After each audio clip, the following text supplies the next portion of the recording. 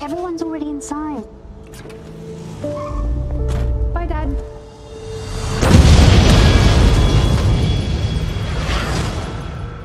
An explosion rocked the city today. Twenty thousand pounds for the names of the bombers. That's not how we do things here.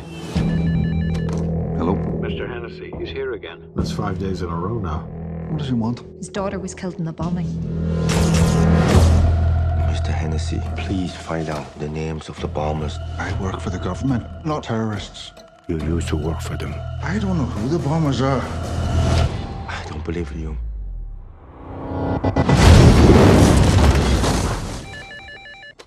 It's him. You would tell me the names of the bombers. They kill me on Tuesday, He's trained.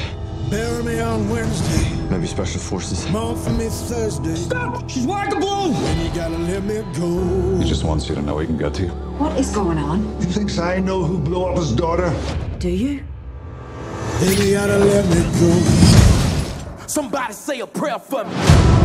If They kill me on Friday, Of half the city looking for him. bury me on Sunday, mourn for me Monday.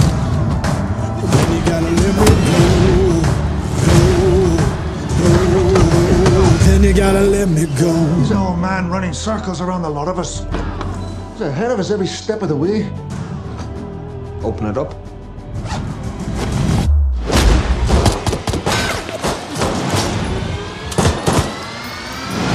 Speak the truth, even if they crucify me.